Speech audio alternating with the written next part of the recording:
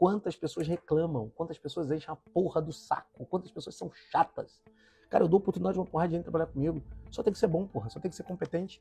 Aí a pessoa chega aqui, ela quer ganhar mais, muito mais do que ela merece. Por quê? Não é que ela merece como pessoa.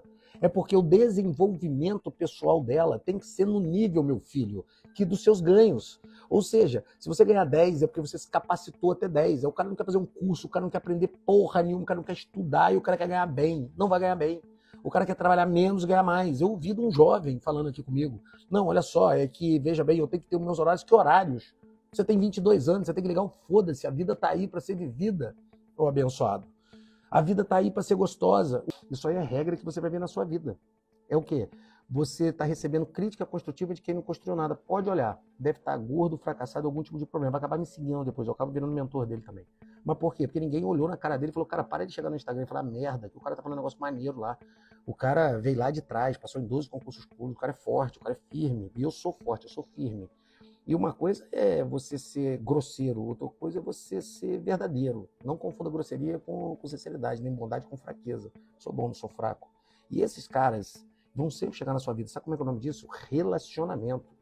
O relacionamento você tem com a sua família e o relacionamento você tem com o network. Ficar conectado com pessoas ruins por exemplo, eu posso não concordar com um monte de gente na internet, eu sou incapaz de chegar na internet e falar alguma coisa, fazer um comentário negativo, porque eu tenho a minha vida, eu tomo conta da minha bunda. Deus deu uma bunda para cada um, toma conta da tua. Você fica tomando conta da bunda de outras pessoas, você é a típica frase. A típica frase. É, crítica construtiva de quem não construiu porra nenhuma na estrutura de vida.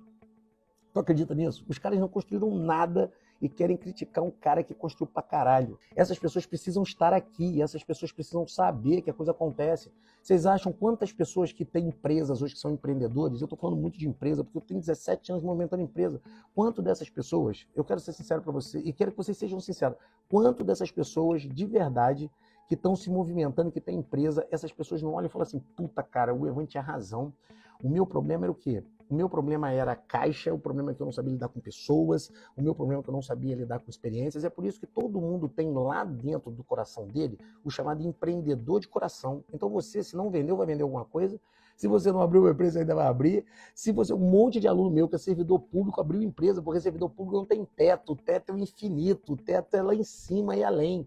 Só que eu só comecei a falar disso depois que eu venci. Assim como eu ensino a passar em concurso, que eu passei em 12, mas eu ensino vencendo as empresas, porque eu quebrei o servidor concurso, mas fiz o Alfacom, fiz mais nove empresas, foram menos milionários. Olha as empresas que estão comigo. Depois que eu fiz o primeiro de muitos milhões, eu fui embora. Porque Martin Luther King já disse, cara, o latido dos, dos, dos maus, ele ecoa. Agora, a fala dos bons, ela tem que, tem que ter voz, ela tem que ter lugar ativo.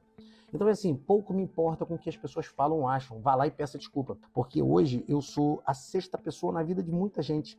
Por que, que eu sou a sexta pessoa na vida de muita gente? Porque muitas pessoas não têm conhecimento. Muitas pessoas não chegam para você e dizem o seguinte: pô, cara, ó, casamento, como é que você lida com a sua esposa? Você não pode brigar no relacionamento, peça desculpa. Casais que andam juntos enriquecem juntos. Casais que estão juntos arrebentam juntos. A gente criou a teoria da, dos empreendedores de coração. Eu acredito que todo mundo é empreendedor de coração. Todos vocês têm a capacidade de ficar rico. Todos vocês têm a capacidade de subir. Todos vocês têm a capacidade de estar no topo. Todos vocês têm a capacidade de fazer algo diferente.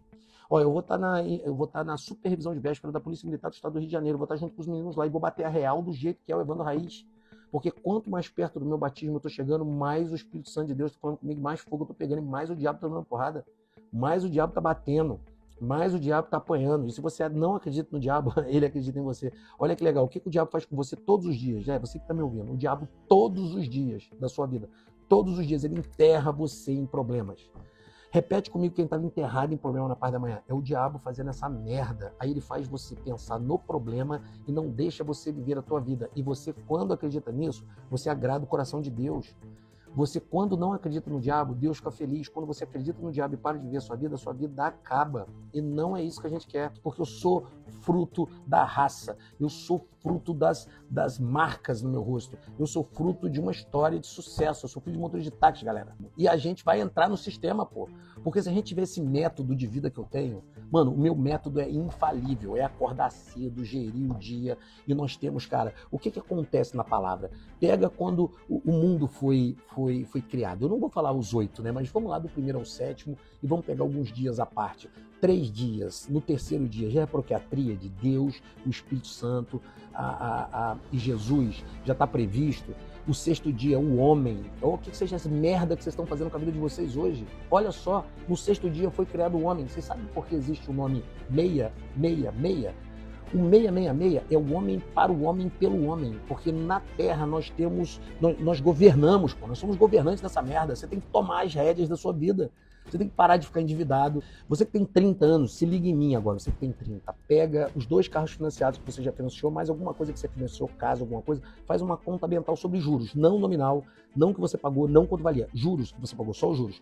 Pega, joga esse dinheiro lá atrás, 10 anos, e vem juntando ele, rendendo aí 10, 12% ao mês. Quanto você acha que você teria? Agora transforma isso em ações preferenciais que geram dividendos. Você estava milionário só com os juros que você pagou, mas você não vê isso. As perguntas que vêm na sua cabeça é o seguinte: pô, para onde foi meu dinheiro? Trabalhei, não tenho dinheiro, estou endividado, estou na merda. E quando eu falo que o dinheiro é a base, dinheiro é o eixo, a galera tá brigando comigo, pô. A galera tá me dando porrada todos os dias. Não, o dinheiro não deixa ninguém feliz. Aí vem aquelas. Ah, mas todo mundo tem lugar no céu, eu vou morrer, você vai morrer, eu vou morrer pobre, você vai morrer rico. Olha o que o cara falou, eu falei, tudo bem, pô. Mas pelo menos nessa fase de vida eu vou viver minha vida bem. E você vai viver os 80 anos de merda.